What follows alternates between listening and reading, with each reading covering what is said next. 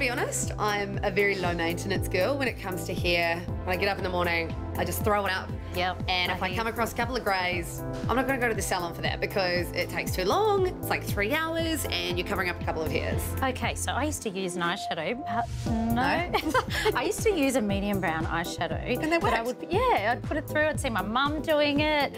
Obviously, it's just me. All the time from clients, I'm constantly hearing going into the hairdressers takes too long. You're in there for three hours. It's costing around $300 plus. You're needing your hair retouched, re-dyed within five weeks. And I think it's just finding that product that can tie you over. I don't know if you've got any greys, but I have a lot. I've sprouted. I've picked out a few, but I've, I notice every time I pick out one, about three more come. They so- do. So this is magic. It will be your best friend. My personal favourite and the one that's in my bathroom at the moment is the L'Oreal Magic Retouch. They don't call it magic for nothing. And personally, I use the shade light brown. Right now, you can see some of the greys here. We're in between salon visits. We want this um, colour to tie us over to our next one. So what you would do, it's really simple. You just hold it around 10 to 15 centimetres and lightly spray. And as you can see, Oh my God. Instantly. It's magic.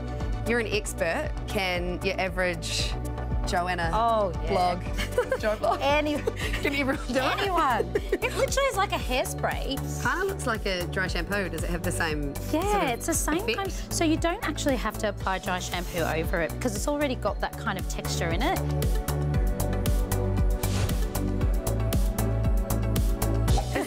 Eyebrows to darken? Um, or? not quite. It's actually for those hairs near your ears on the side that are really baby hard to hairs? get. The baby ones. Okay. So it's got a great, um, yeah, yep. She's How's got that? the idea. She's How's doing that? it. Or if you've got a tight pony that you're wearing and these little ones that come down, I often get these personally.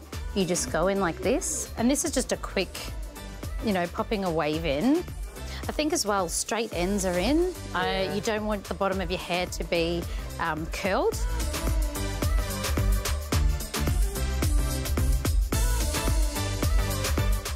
No more greys, and you're ready to go.